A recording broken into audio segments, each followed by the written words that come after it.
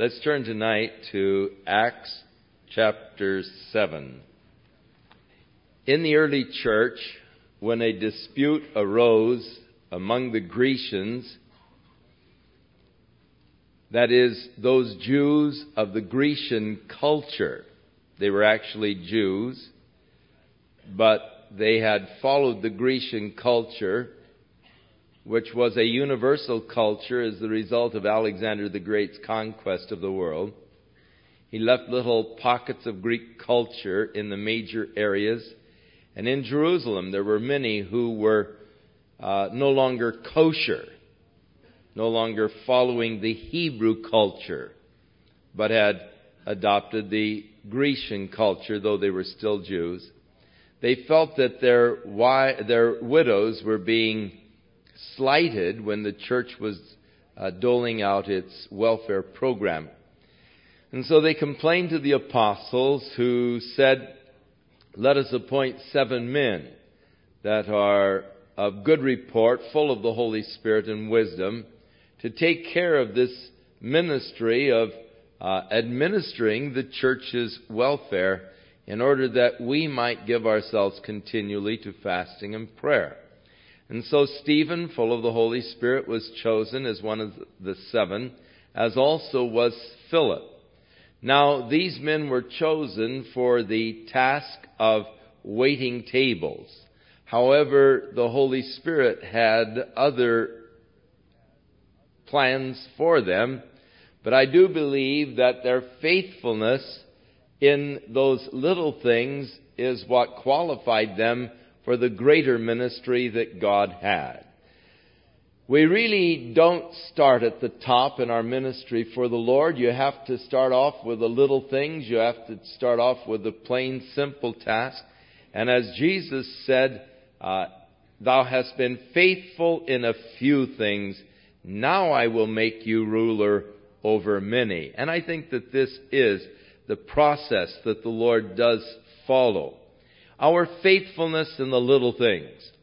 So often a person comes and says, I want to get in the ministry. And I say, go to the Sunday school department and volunteer. That's the best place to start in the ministry. If you can learn to relate God's truth to children, then you can relate it to anybody. But it's important that we get started in, you know, the Sunday school or in uh, some small task in order that we might develop our own abilities as well as test and see if this is what God has actually called us to. So many times when people say, I want to go into the ministry, they uh, expect me to dismiss Romaine and put them uh, in his place on the staff. Uh, and there have been those that have requested that we do that. But I'm convinced that every church needs a Romaine. So Stephen was one of those that was chosen, uh, full of wisdom, full of the Holy Spirit, of good report. But Stephen soon got into trouble. Not with the church, but because the Lord was working mightily through his life with great wonders that is, the works of God that would cause people to wonder at them, and miracles that he was doing. And so there were those of the synagogue of the Libertines who called him and challenged him, and they were not able to really uh, deal with the spirit of wisdom and all by which he spoke. So they hired some men to bear false witness against Stephen. And as Stephen was standing there in the council to face these charges, they all saw his face as though it were the face of an angel. That shining, beautiful glow of the Spirit upon Stephen. And so that brings us to chapter 7 as we note chapter 7 really is just picking up a continuation of 6 and you can't really start just straight off in 7 you've got to have the background from 6 uh, to understand the beginning. Then said the high priest, Are these things so? You see, you've got to have chapter 6 where they accuse Stephen of blaspheming God, of saying that the temple was going to be destroyed, and of uh, blaspheming Moses, speaking against Moses, the temple, and uh, these are the false charges that were made, partially true. Um, and of course, a partial lie is probably one of the hardest things to fight. Partial truth, partial lie is extremely difficult to combat. An outright lie is no problem, but partial truth, partial lie is difficult uh, to combat, and this is what he was facing. He no doubt had declared that uh, Jesus was going to establish a new order and that God was not met just in the temple, but God is now dealing with men everywhere in their hearts and lives. So the priest said, Are these things so? And he said, Men and brethren and fathers, hearken. So now begins Stephen's defense before the council, which is going to lead to his death. He is going to so anger them that they are going to pick up stones, gnash their teeth against him, and stone him. It is interesting that in his defense, he is first of all, the accused. They have made these accusations against him, but before he is finished with his defense, he becomes the accuser and he accuses them. And their, his accusations of them was something they couldn't handle. It was more than they could handle. And they took up stones uh, and killed him. So he starts his defense in recounting their history. And as he recounts their history, going back to their father Abraham, whom they all acknowledged as the father of their nation, how that God had called him out of the land of his fathers to come to a land that God would ultimately give unto him and to his seed for a possession. How that he journeyed to Haran until his father died and then came on to the land that God had given to him. However, though God had promised him the entire land, he did not personally gain any inheritance in the land. Except that when his wife died, he bought a cave to bury her in, and that was the only part of the land that Abraham ever possessed, the burial cave uh, that he had purchased uh, from uh, the, the people of the land. But then God had told Abraham that his seed was to go into a strange land where they would dwell for 400 years, at which time God would deliver them from that land, and at that time he would give to them the land that he had promised unto them, and that God would then judge the nation that had made them serve in such terrible bondage. So he gave to Abraham the covenant, verse 8, of circumcision. And so Abraham begat Isaac and circumcised him the eighth day, and Isaac begat Jacob and the twelve patriarchs. And Jacob begat the twelve patriarchs. And the patriarchs, moved with envy, sold Joseph into Egypt, but God was with him. Now, the Jews not only lived in the present, they also lived in the past. Their history is extremely important to them. They have great reverence for the dead. And there is a feeling among the Jews that if you want to be near God, then you should be near the body of His saints. So they have a common practice of going to the graves of the patriarchs to pray.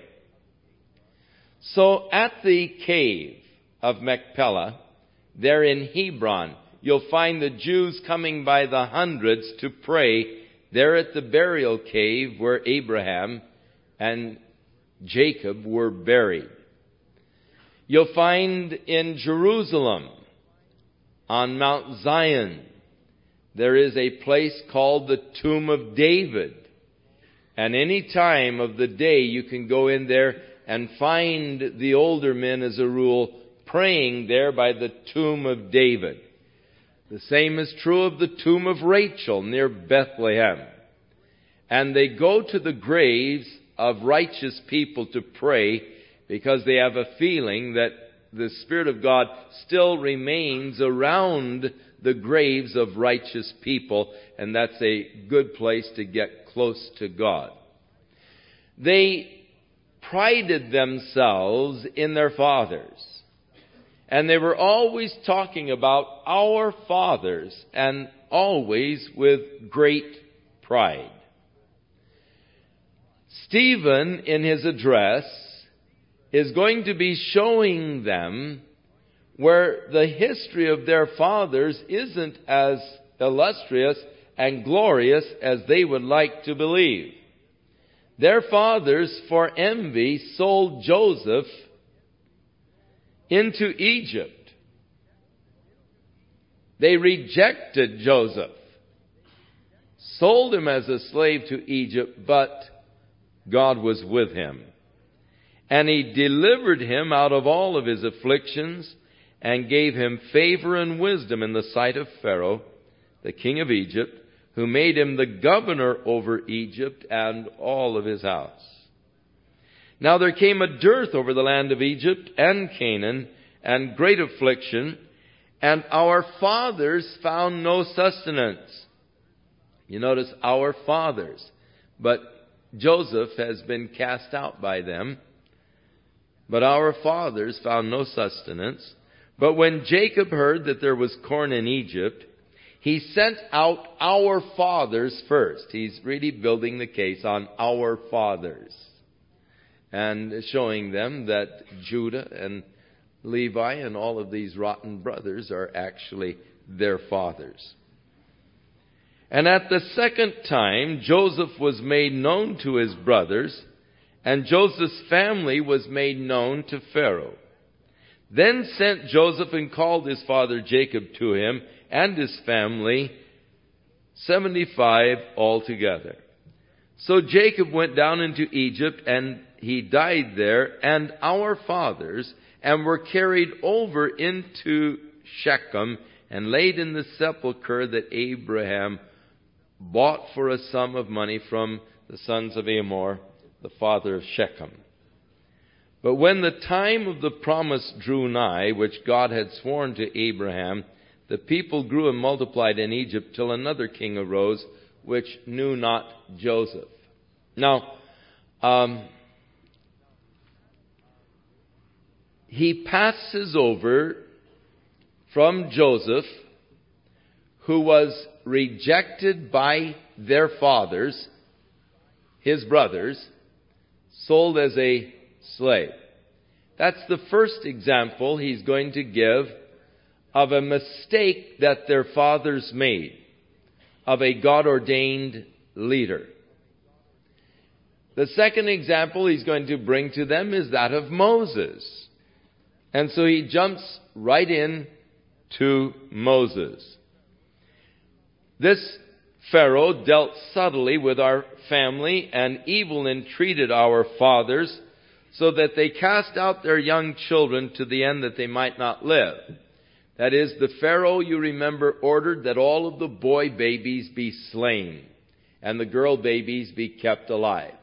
And so he is making reference to that order of the Pharaoh in which time Moses was born, and was exceeding beautiful, and he nourished up in his father's house for three months. And when he was cast out, Pharaoh's daughter took him up and nourished him for her own son. Actually, they were ordered to cast their children into the Nile River. Moses' mother hid him for three months, and then when she cast him into the Nile River, she had made a little ark out of the bulrushes, and so she kept the order of the Pharaoh. She put him in the river, but in this little floating basket. And the Pharaoh's daughter took him up and nourished him for her own son. And Moses was learned in all the wisdom of the Egyptian and was mighty in words and deeds. And when he was a full forty years old, it came in, into his heart to visit his brothers, the children of Israel. And when he saw one of them suffering wrong, he defended him and avenged him that was oppressed, and he killed the Egyptian. For he supposed, interesting, he supposed that his brothers would have understood how that God by his hand would deliver them, but they did not understand.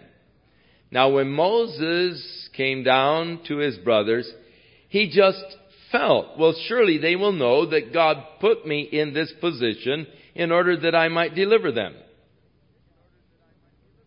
But they did not understand this. And so the next day, when he showed himself again to them as they were fighting among themselves.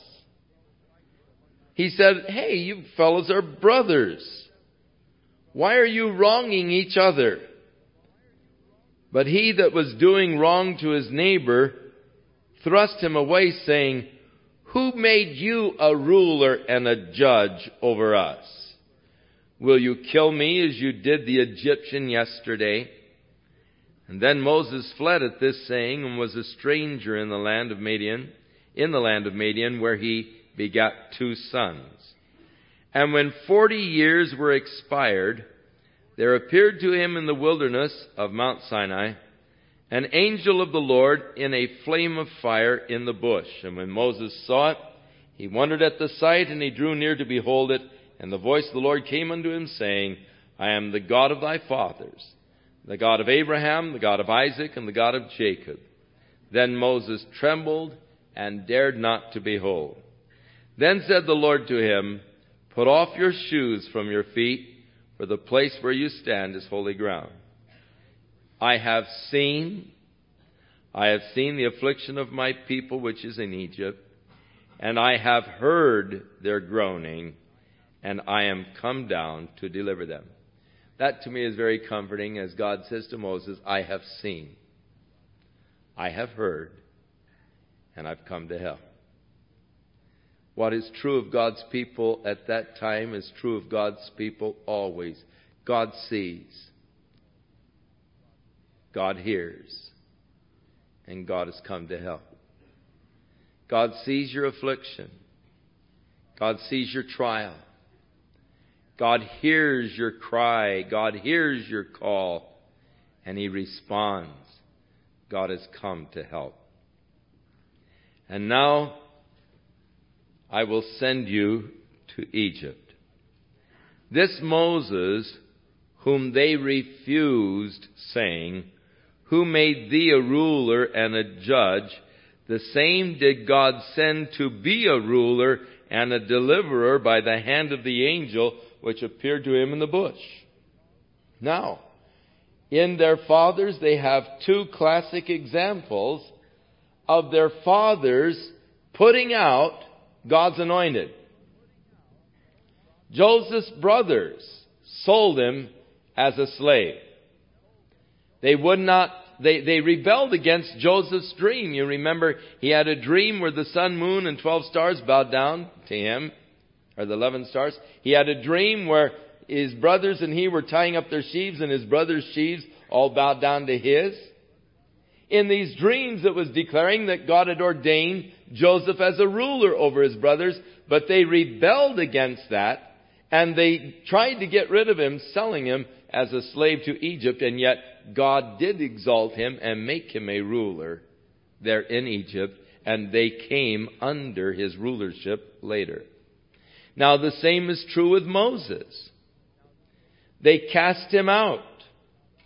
Moses thought that they would know that God had ordained that he would be a leader and a ruler among them, but they did not know, and they cast Moses out. But 40 years later, God brought him back as a ruler and a deliverer for the people. And so he uses these two examples of the mistakes that their fathers made of recognizing God's ordained plan and God's ordained ruler. There's a pattern that exists in this nation. He brought them out after that he had showed wonders and signs in the land of Egypt and the Red Sea and in the wilderness for 40 years. So Moses' life divided up into three 40 year periods. 40 years in the schools of Egypt becoming something. 40 years in the wilderness finding out he was nothing. 40 years leading the children of Israel through the wilderness finding out that God could take nothing and make something out of it. And so the 40 year divisions of Moses' life. This is that Moses which said unto the children of Israel, a prophet shall the Lord your God raise up unto you from among your brethren like unto me, and him shall ye hear. This is he that was in the church in the wilderness with the angel which spake unto him in Mount Sinai. The church in the wilderness, the word church, ecclesia in Greek, literally means the called out ones. Israel was never called the church in the land. But they had been called out of Egypt and thus in the wilderness were known as the called out ones. The church today are those that God has called out of the world to be a special people, a peculiar nation unto Him. There on Mount Sinai with our fathers, He received the living oracles which He gave unto us. That is, the oracle is a spokesman of God's word. And there God gave to Moses the law, his word. To whom our fathers, you talk about your fathers, God gave them these living oracles, but they would not obey them. But they thrust him out from among them, and their hearts turned back again to Egypt. You talk about your fathers. Oh, our fathers this and our fathers that. Your fathers rejected the law of God. They again cast Moses out, and in their hearts they returned back to Egypt. Saying to Aaron, Make us gods to go before us. For as for this Moses which brought us out of the land of Egypt, we don't know what's become of him. He had been 40 days up in the mountain. The people became impatient and they came to Aaron and they said, we're going to go back to Egypt. Get, make us gods that will lead us back to Egypt. We don't know what's happened to Moses. And so they made a calf in those days and offered sacrifice unto the idol and rejoiced in the works of their own hands. Then God turned and gave them up to worship the host of heaven, as it is written in the book of the prophets, O ye house of Israel. You have offered to me slain beasts and sacrifices by the space of forty years in the wilderness. Yea, ye took up the tabernacle of Molech, the star of your god Remphan, figures which you made to worship them, and I will carry you away beyond Babylon. Now our fathers had the tabernacle of witness in the wilderness, as he had appointed, speaking unto Moses that he should make it according to the fashion that he had seen which also our fathers that came after brought in with Jesus. Now, Jesus there is a reference to Joshua in the Old Testament. I have told you over and over again that the name Jesus is the Greek for the Hebrew name Joshua. And because he is talking to them, uh, and it is translated here into the Greek the name is given in Greek, but this is a reference to the historic man Joshua who took over Moses' place and led the children of Israel into the land. which also our fathers that came after brought in with Joshua. That is the tabernacle of witness that was made in the wilderness. They brought it into the land, whom God drove out before the face of our fathers unto the days of David, who found favor before God and desired to find a tabernacle for the God of Jacob. But Solomon built him a house. Howbeit, now he was accused, remember, of speaking against the temple and all. Solomon built him a temple. However, he said, the Most High dwells not in temples made with hands, as saith the prophet. And of course, you can go back to the Old Testament. You can find that they say that the Lord doesn't dwell in temples made with hands. The heaven of heavens cannot contain him. And so uh, Solomon was saying, I, I have no illusions that this is going to be your exclusive dwelling place.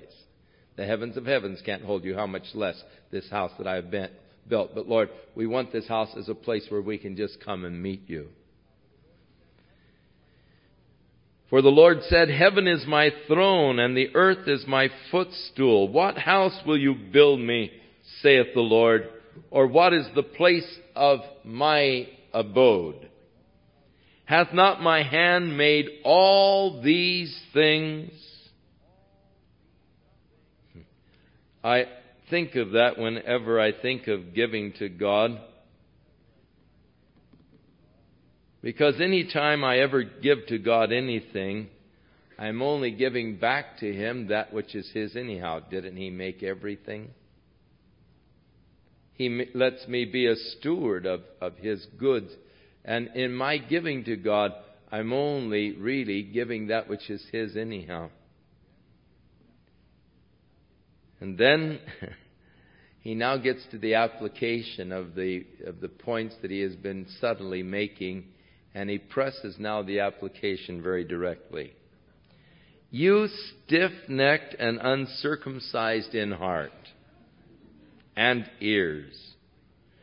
You do always resist the Holy Spirit.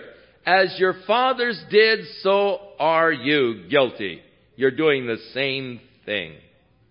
Which of the prophets have your fathers not persecuted?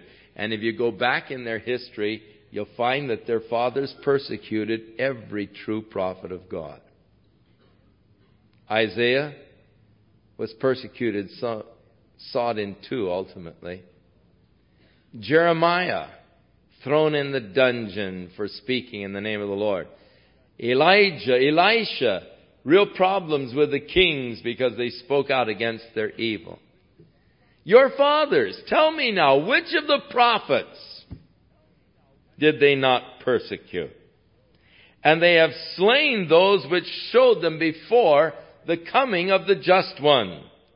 In other words, these prophets who were telling them of the coming of the Messiah, these true prophets of God, they had killed these prophets who had prophesied of the coming of the just one, the Messiah, of whom ye have now been the betrayers and murderers. I mean, you're worse than your fathers.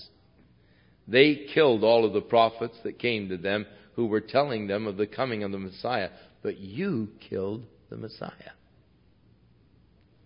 What a charge. Because you were the betrayers and the murderers. You have rejected the law by the disposition of angels. You've not kept it. He was accused of speaking against the law of Moses. He said, look, you haven't kept it. You've rejected it. Now when they heard these things, they were cut to the heart. And they gnashed on him with their teeth. But he, being full of the Holy Spirit, looked up steadfastly into heaven and saw the glory of God and Jesus standing on the right hand of God. And he said, Behold, I see the heavens opened, and the Son of Man is standing on the right hand of God. Your fathers rejected Joseph. God made him a ruler.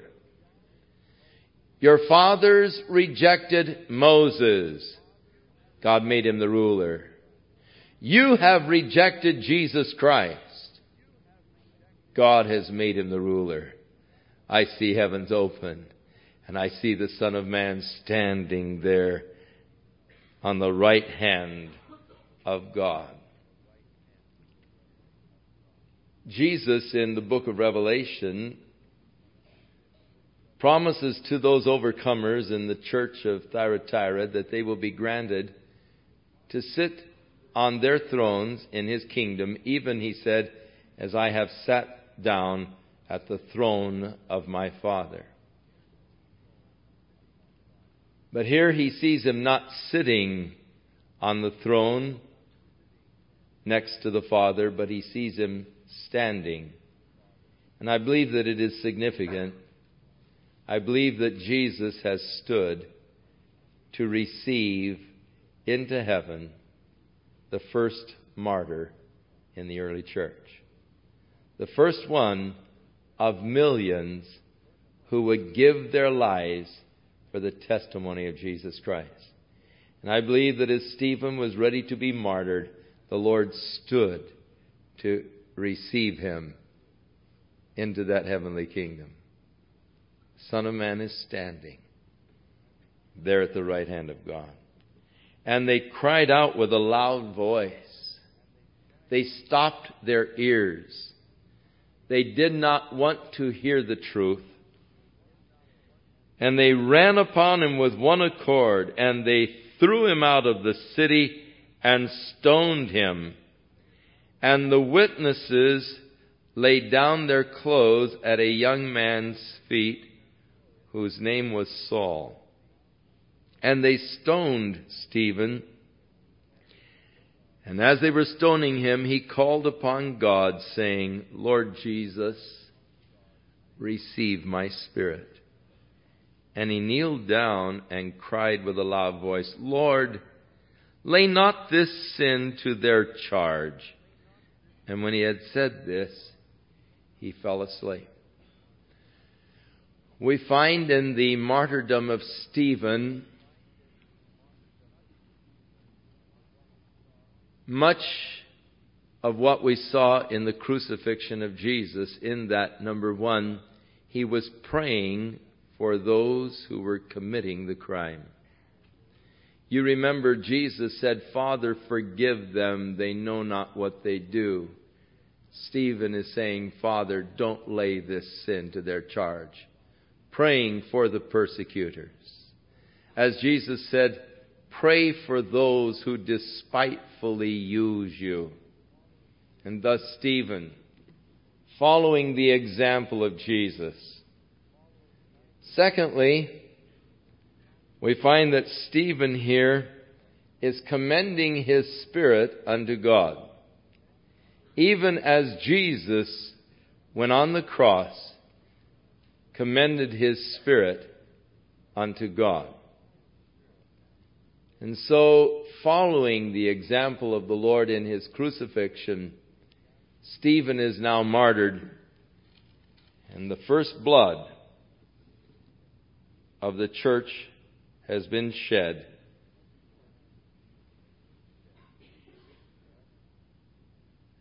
And as the result, they did not silence the witness of the church they only spread the witness all over the place. For then began a great persecution against the church. And we are introduced now to one of the chief persecutors, a zealous young Jew, a Pharisee of the Pharisees, whose name is Saul. And he was standing by, consenting to the death of Stephen, holding the coats of the fellows who were throwing the stones. No doubt cheering them on.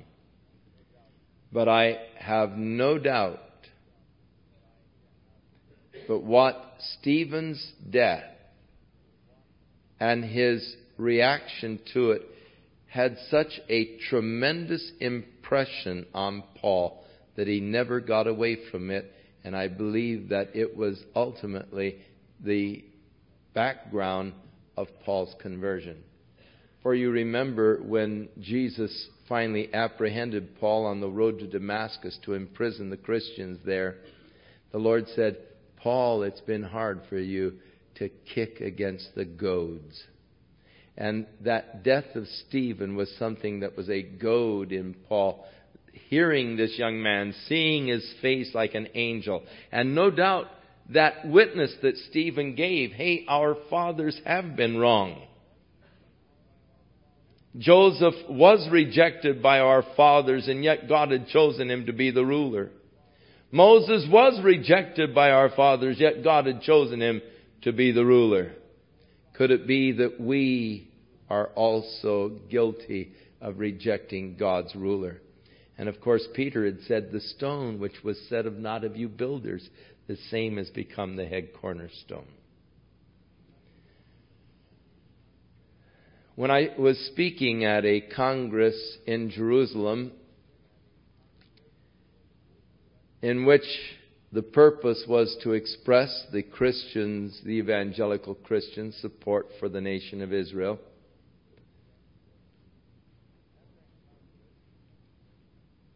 At that Congress, before I had a chance to speak, I received a letter from one of the rabbis from the Mea Shearim. They're the ultra Orthodox radicals. And the letter was a severe rebuke to me for being involved in a Congress that was seeking to promote the peace of Jerusalem. And that's what the Congress was called, the Peace of Jerusalem Congress. This rabbi said, Israel has no right to exist as a nation. We have no right to exist as a nation until we have our temple again. This nation is not a true nation. And he went on really uh, coming down on me for supporting the nation of Israel. I have been witnessing to many Jewish people over there that have become friends of the family. And so I took this radical hate filled letter and I showed it to my friends. I said, Look what one of your rabbis have sent me. And as he read the letter, he got all upset. He said, Don't pay any attention to it. They're crazy. They're a bunch of radicals. They're crazy. Don't pay any attention to it. I said, But they are rabbis. Oh, yeah, but they're crazy. I said, but they are the religious rulers. They are the rabbis. Oh, it doesn't matter. They're crazy. They're nuts. They don't know what they're talking about.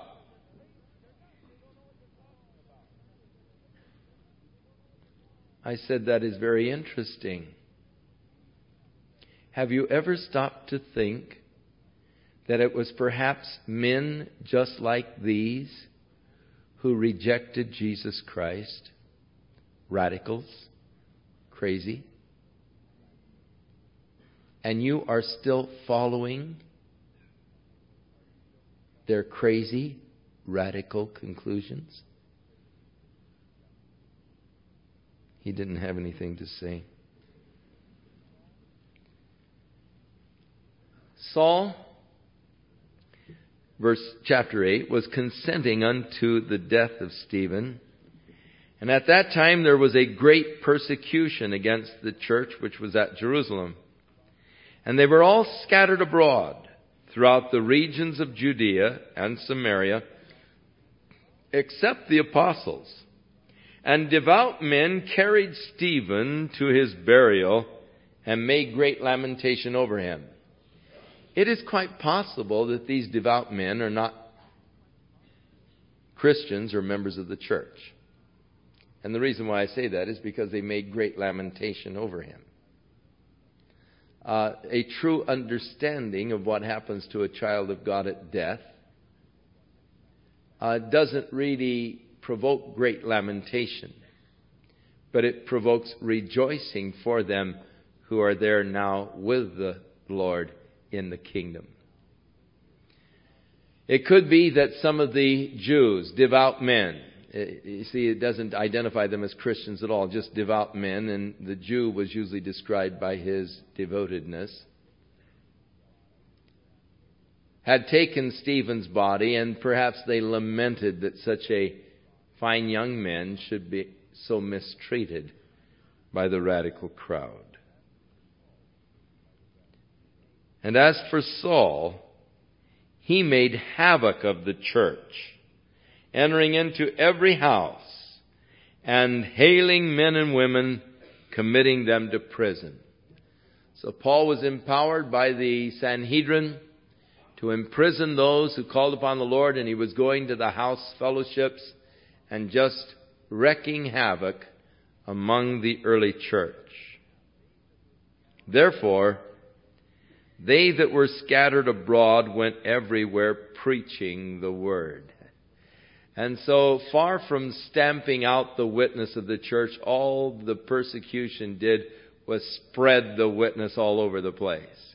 For everywhere they went, they were preaching the Word of God, and thus the gospel began to spread throughout Judea and Samaria. Now, Jesus had said to his disciples in the first chapter, verse 8, and you shall receive power when the Holy Spirit comes upon you, and you shall be witnesses unto me both in Jerusalem. And remember, they said to them, You have filled this city with this man's doctrine. And in Judea and in Samaria. And so we find now the next movement of the church as it goes beyond Jerusalem into Judea and Samaria as the result of this persecution. Paul being one of the chief persecutors of the church. So Philip, now we are introduced to a second of the seven who was appointed to the task of waiting tables in the early church and overseeing the church's welfare program. God is taking another one now, filled with the Holy Spirit, full of wisdom and of good report, and is using him now in the ministry of an evangelist. And later on, we find, years later, that Philip is living in Caesarea. And he is called there Philip the Evangelist. And we are told that by this time he now has four daughters who possess the gift of prophecy. And as Paul is returning to Jerusalem, he stops and spends a few days with Philip in Caesarea. And I imagine that Paul and Philip, as they were there, probably recounted some of the early experiences of Stephen and of Paul's being there, because Philip was there and around the situation too, and how their paths had crossed earlier in life, only when they were going different directions and how God has brought them together in the uh, communion of the gospel here now later on in Caesarea. So Philip went down to the city of Samaria and preached Christ unto them. And remember, the word Christ is the Greek word for the Messiah. So he preached the Messiah unto them. Now, the Samaritans were looking for the Messiah. You remember when Jesus met the woman at the well, there near Shechem. She said to him, We know that when the Messiah has come, he is going to teach us all things. They were looking for the Messiah. They, they knew the scriptures that related to the Messiah, and they were looking for the Messiah. And you remember that the woman went into the town and started telling people, Come and hear a man who has told me everything that I've ever done. Is this not the Messiah? And they came out and they heard Jesus, and then they said, Now we believe, not because of what you have told us, but because we have heard and seen for ourselves. And so the seed was already planted in Samaria, and so Philip went to proclaim the Messiah unto them. And the people with one accord gave heed unto those things which Philip spake, hearing and seeing the miracles which he did. For unclean spirits, crying with loud voices, came out of many that were possessed with them, and many taken with palsies, and those that were lame were healed. And there was great joy in that city. The city of Samaria. The gospel is now being preached. And the result of the gospel in the hearts of the people is that of great joy. Always the result of the preaching of the good news. Now there was a certain man called Simon, which before time in the same city used sorcery. And he bewitched the people of Samaria, giving out that himself was some great one. There was this fellow who was probably a um, warlock. He used sorcery. He had the people convinced that he had great mystical, magical powers. And all of the people had given heed to him, from the least of them to the greatest, saying that this man had a great power of God. And to him they had regard because for a long time he had been bewitching them with these sorceries.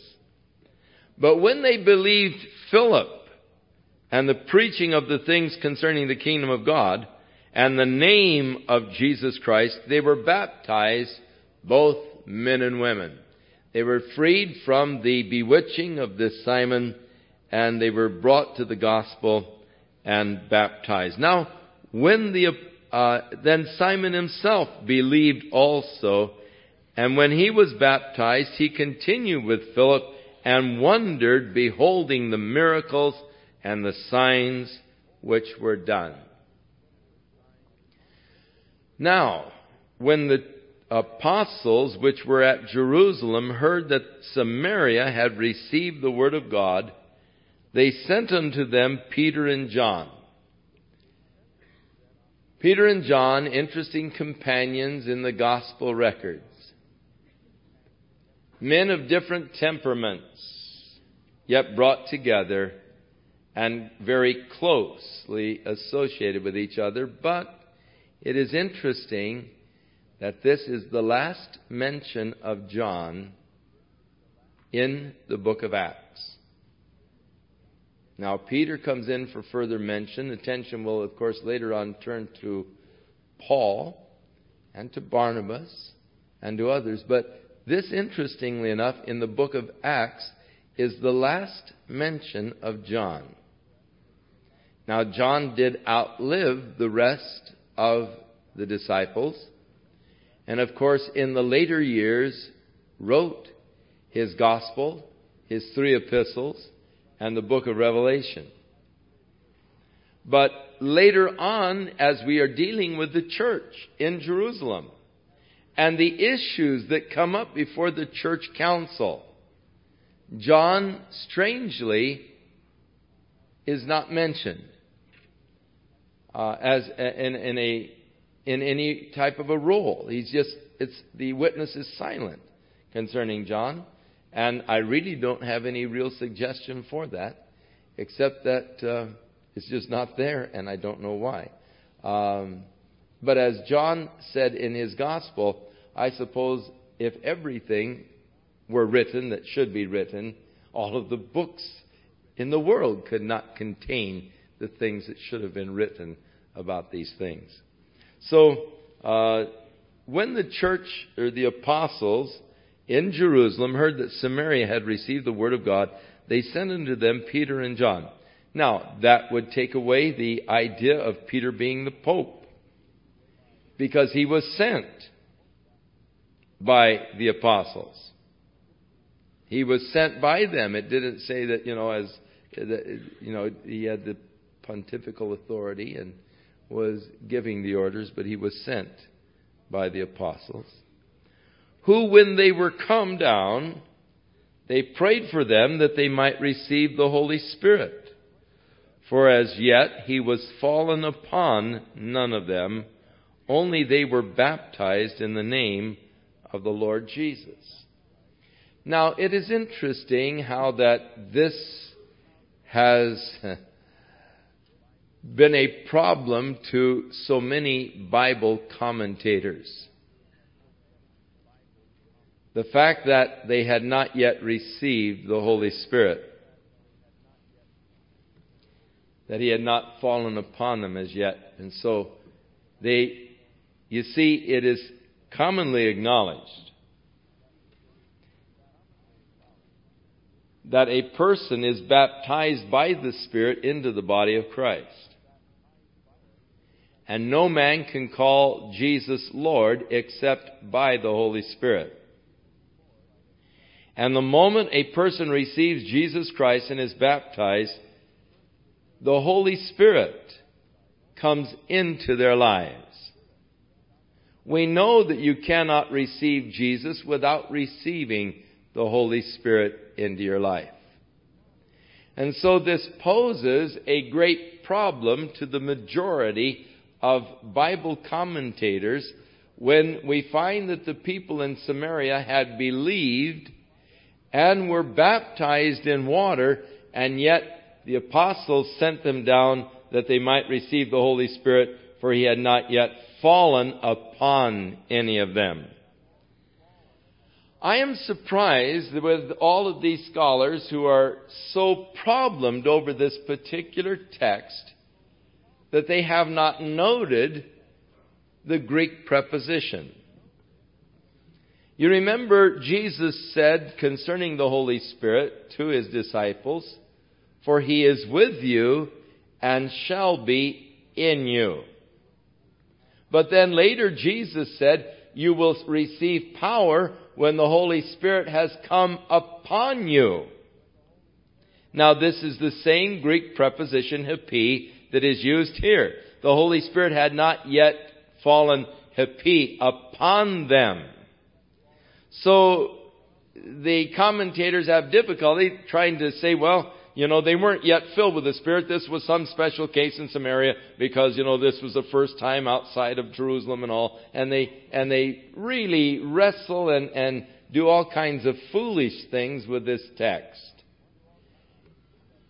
Because they do not want to acknowledge that there is an empowering experience of the Holy Spirit apart from conversion.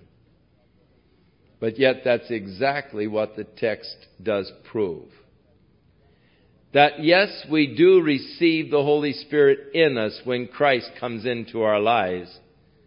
But there is an empowering experience subsequent to our salvation where our lives were, are endued with the power of God's Spirit as He comes upon us, anointing us for power to serve God.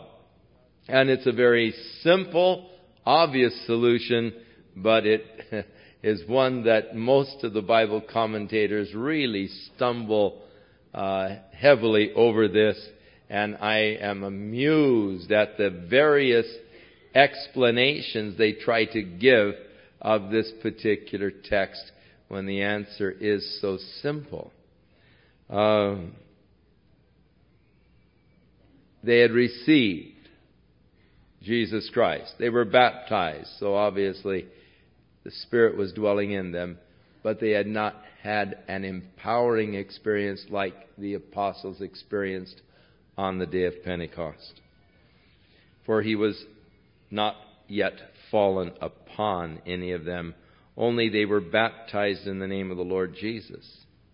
Then laid they their hands on them, and they received the Holy Spirit. And when Simon saw that through the laying on of the apostles' hands the Holy Spirit was given, he offered them money, saying, Give me also this power that on whomsoever I lay my hands, he may receive the Holy Spirit. Now, when Simon saw that through the laying on of the hands the Holy Spirit was imparted, there must have been some kind of visible or audible evidence that they were being empowered with the Holy Spirit Else, why would he ask for that power? If there was just, they would just lay hands on and say, receive the Holy Spirit, receive the Holy Spirit, receive the Holy Spirit, and there was nothing visible or audible to signify that the gift was being imparted, there wouldn't be this great desire by Simon to possess the same kind of power. No doubt there was some type of evidence that these people were receiving an empowering of God's Spirit upon their lives. And I really do not doubt but what they were speaking in other tongues and perhaps prophesying, as was the case in Ephesus in the 19th chapter. Though it is not here declared, I personally feel that this probably was the case, and that is why Simon desired to purchase this power. Now his desire to purchase the power or a position in the church is where the name for that evil, which later permeated the church, was originated. Simony. That is the purchase of a position within the church. And unfortunately, the church went through a very dark period of history where positions in the church were auctioned off to the highest bidder. And there were times where the Pope, the position of the Pope, was actually auctioned and purchased by the highest bidder. That awful evil known as simony that did come into the church, that purchasing position or authority. This is a common practice among magicians. If a magician has a good trick, other magicians will seek to buy that trick. How it is done.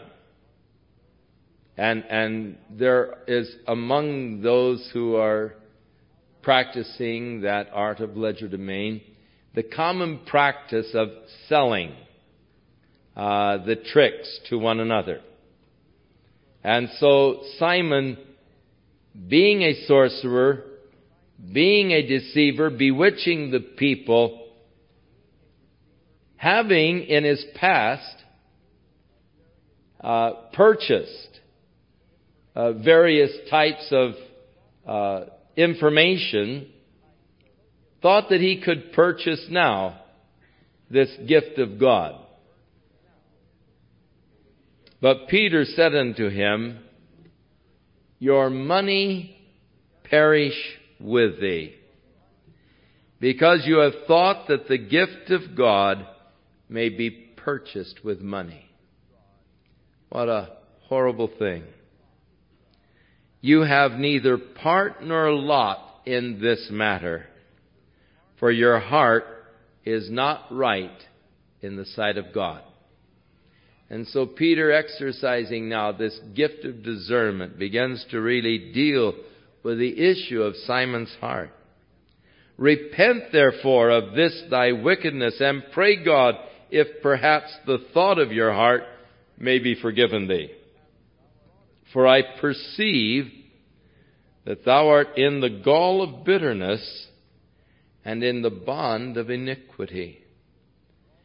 Now, though he had followed Philip and was a great admirer of the works that Philip was doing, yet within his heart there was the gall of bitterness. Probably bitter over the fact that he was no longer looked up to the people as he had once been bitter over the fact that the people were now following a new leader, even Jesus Christ, whom Philip had declared unto them, and that his little crowd had turned from him unto another, and that bothered him deep down within his heart, though on outwardly he was there with Philip and followed Philip and was baptized. Inwardly, it was eating away. The bond of iniquity, the gall of bitterness. What a terrible thing bitterness is. How sad it is that a person would harbor bitterness in their heart. Bitterness can only hurt you. It only does you harm. You really can't afford bitterness. And he was told, pray that God might forgive you of this.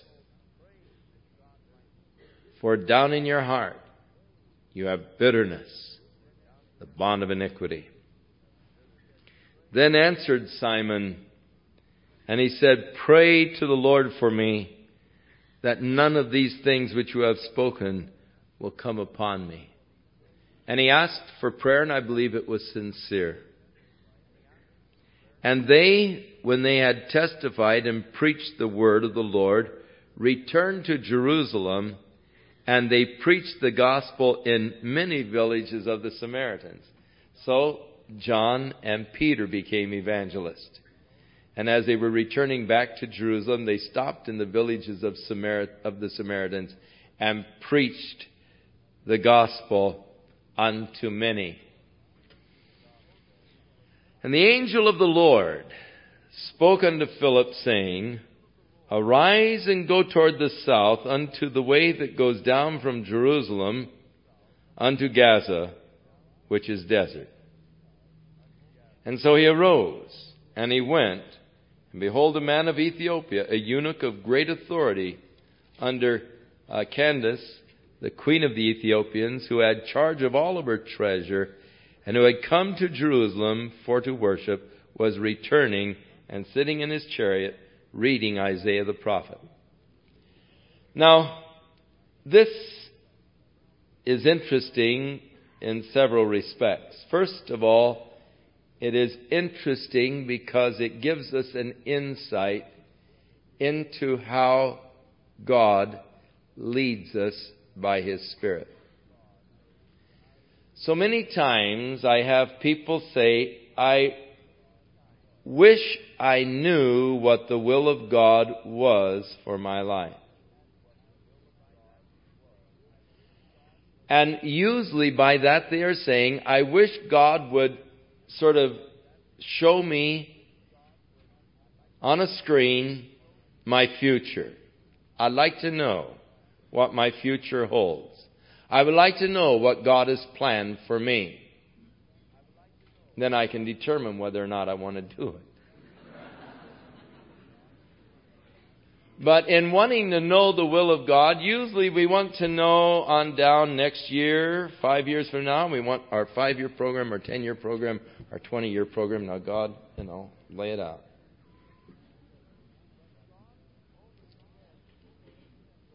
But God only said to Philip, Go down to the road that is going from Jerusalem to Gaza, toward the desert.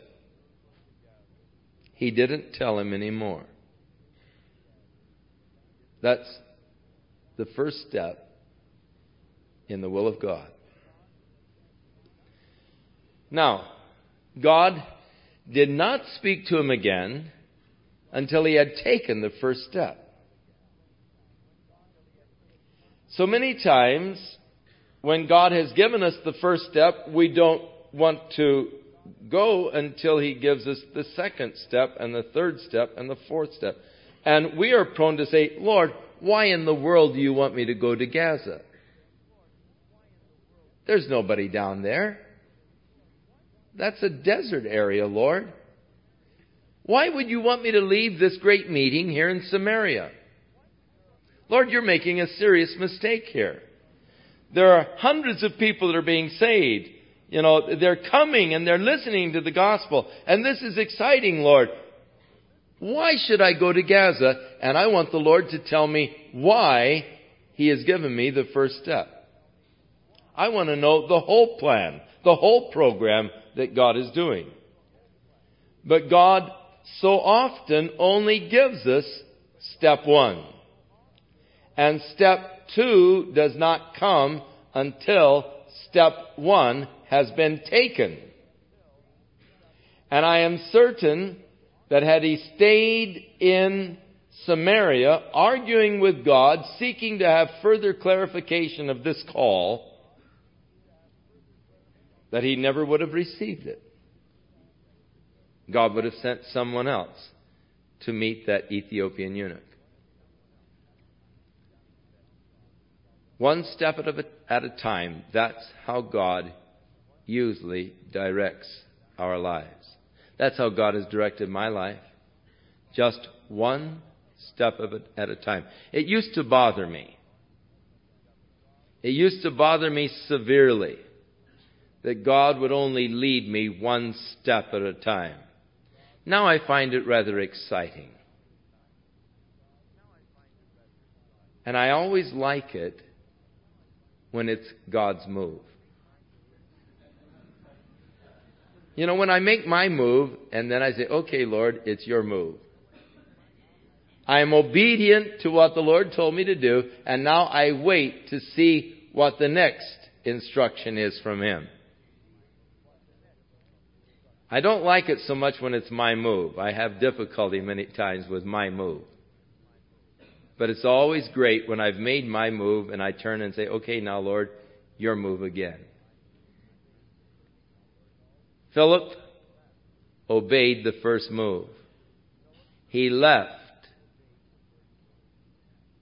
No doubt had many questions in his mind, but he left Samaria, the great revival, and he went down to this area from going from Jerusalem to Gaza to the desert place.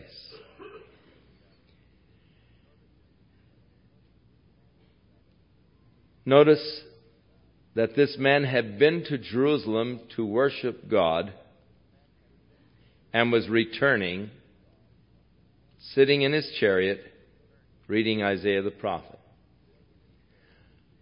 I believe that this man was a sincere seeker for God. In his heart, he was really seeking after the Lord, for no doubt the Spirit had been drawing him. And in his search for God, he came to Jerusalem, the center of the worship.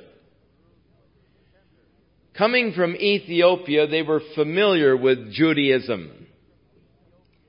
Because when the Queen of Sheba returned from her visit to Solomon, she took back to Ethiopia the Hebrew religion.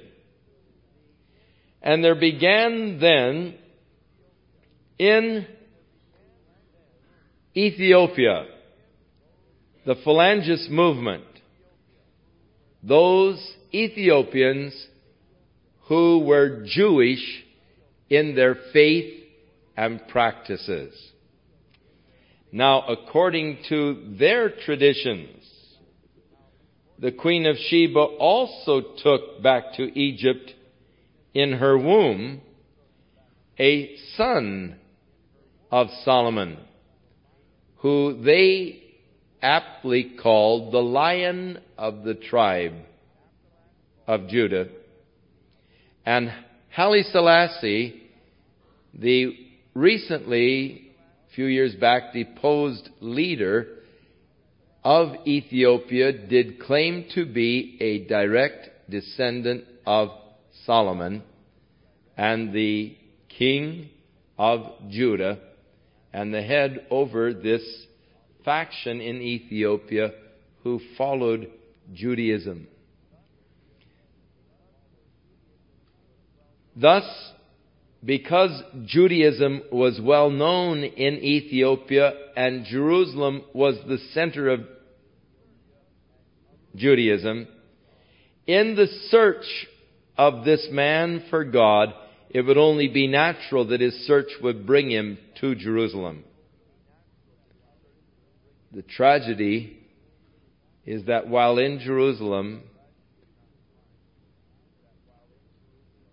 he did not find what he was searching for.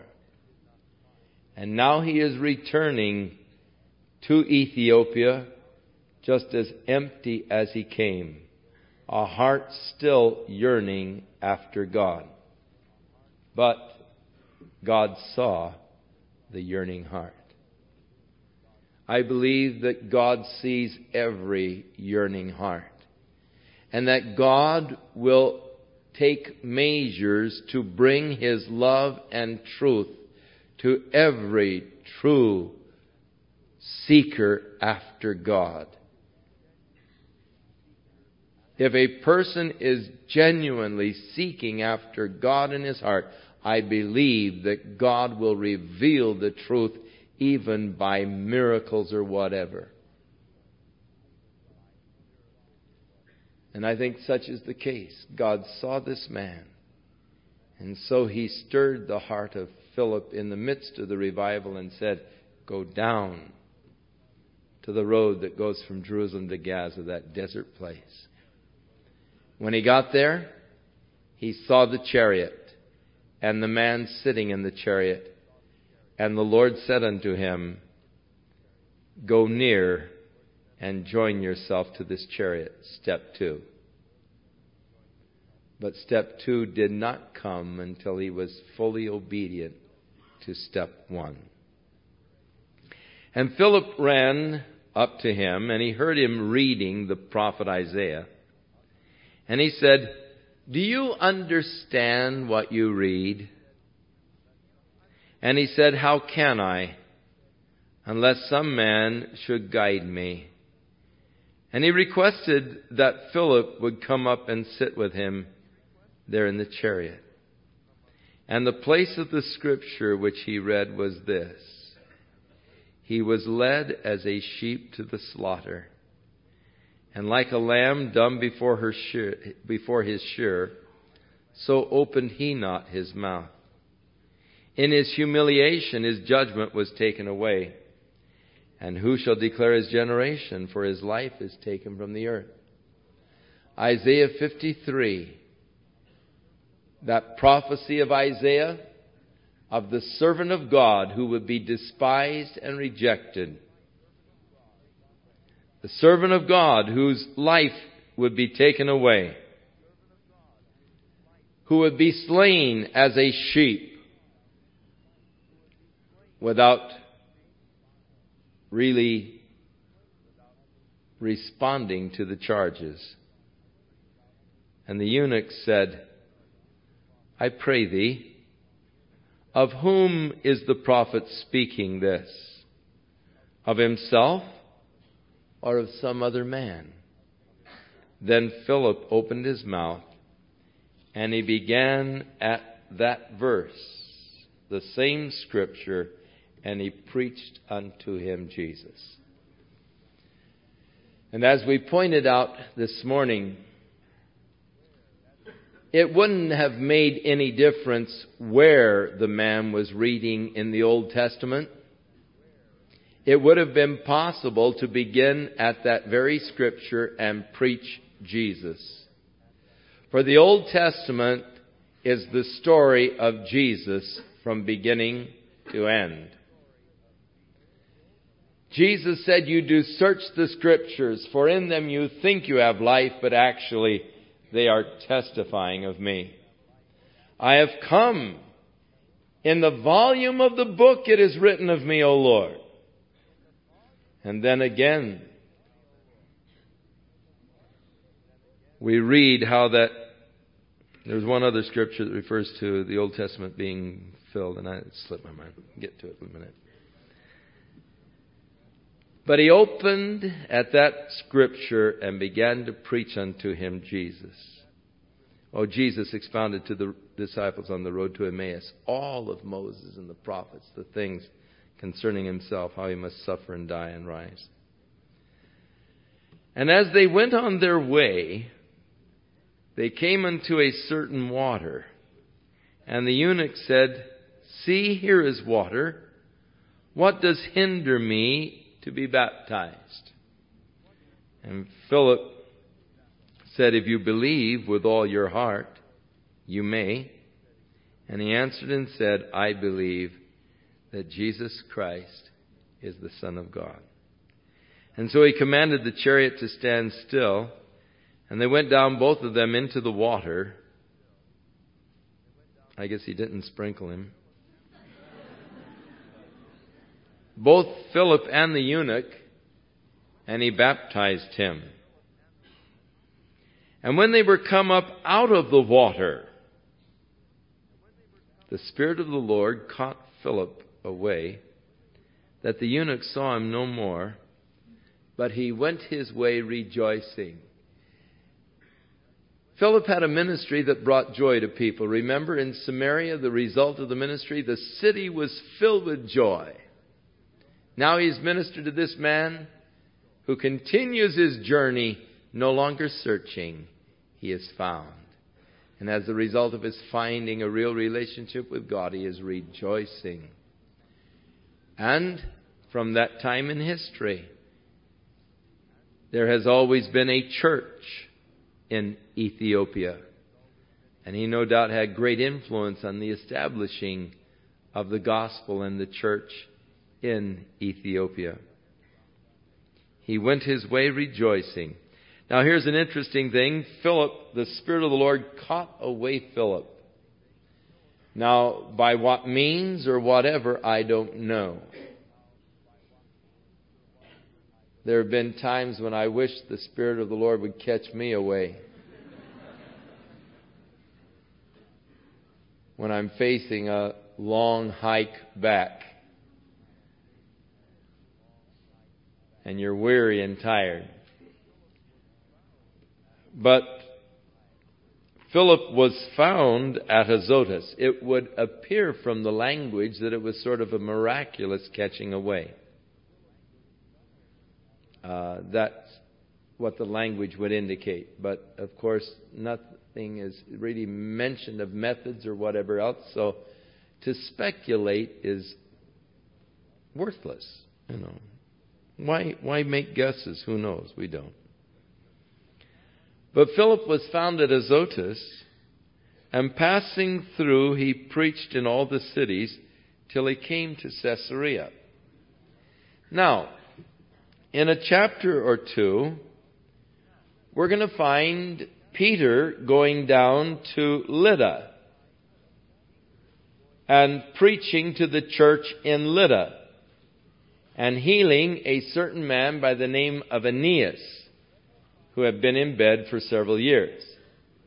And then we'll find that the church in Joppa, when they hear that Peter is in Lydda, send to him requesting that he will come quickly to Joppa because a certain woman, uh, Dorcas, had died.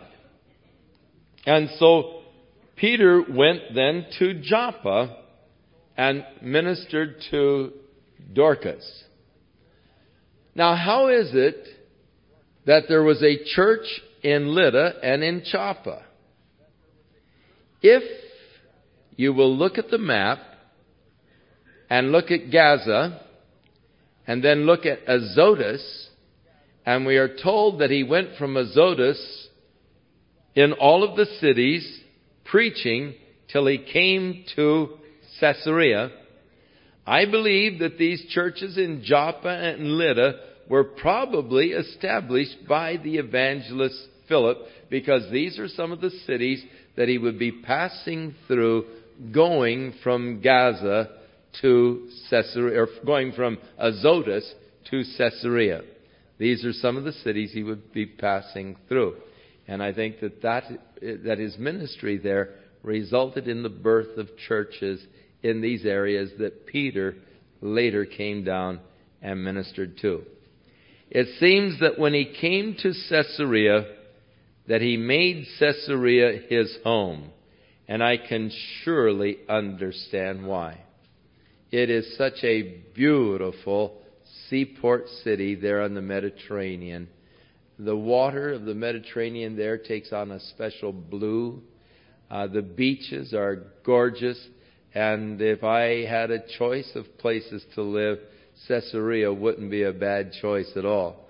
And so Philip stayed there in Caesarea established his home there, and years later, Paul visited with Philip there in Caesarea, remaining with him there in his home before he continued his journey to Jerusalem. And so we'll come back to Philip's house in Caesarea later on in the book of Acts. We'll return to uh, his house and we'll visit for a while with Paul uh, when we get to that point. So that's why I emphasize his house in Caesarea because we're coming back to this house uh, before we're through with the book of Acts. As we go on into chapter 9 next week, we will get to the conversion of Paul, the interesting aspects of his conversion, and then Peter's visit to Lydda and to Joppa. And then the pouring out of the Holy Spirit in chapter 10 on the Gentiles in the house of Cornelius in Caesarea, where Philip ends up. Now, it is interesting that God would call Peter for this work. Uh, it could be that Philip was not yet in Caesarea at this time, or it could be that again he had planted seed, and that's why Cornelius was such a devout man. Let's pray. Father, we thank you for your word and the excitement that is generated in our hearts when we see men so used of the Holy Spirit. And we realize that they are just common men like us. And so, Lord, we desire that our lives be used by the Holy Spirit to share the love of Jesus Christ with the world around us. Lord, we offer you tonight our lives, our bodies, as living sacrifices, that we might, O oh God, be instruments in your hand doing your work touching the needy world around us. Oh Lord, we recognize that we need the power of your Holy Spirit to do any work that is truly effective. And so, Lord, anoint us with your power. In Jesus' name we pray. Amen. May the Lord bless, give you a beautiful week fill you with His love and with His Spirit, and may He use your life as His instrument accomplishing His work. In Jesus' name.